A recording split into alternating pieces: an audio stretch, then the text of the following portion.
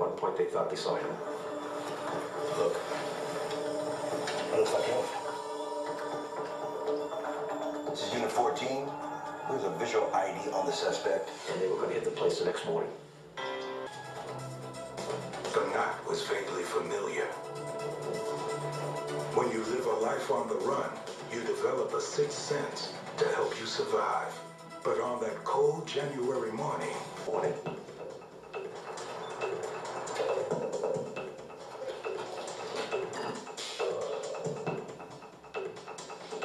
And found that he wasn't there.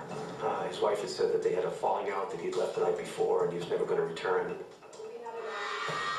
Is there anybody else in the house?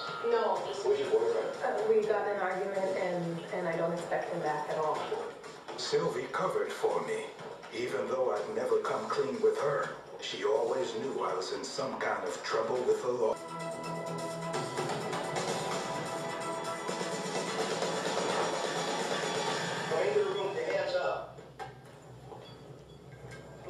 I saw Sylvie, looking terrified.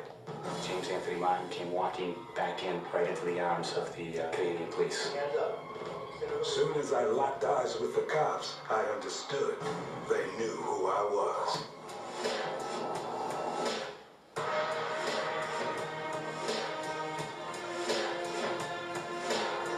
I'd always hoped my character would be more poetic. Unfortunately, I couldn't write a different ending to my story. When one of the officers called me by my real name, James Anthony Martin?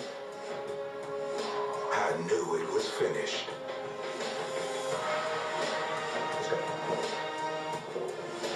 At that point, he realized that his life on the run was over.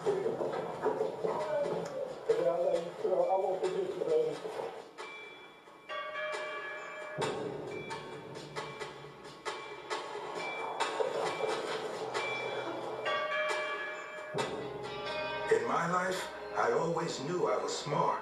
I believed I was smart enough to get away with murder. But I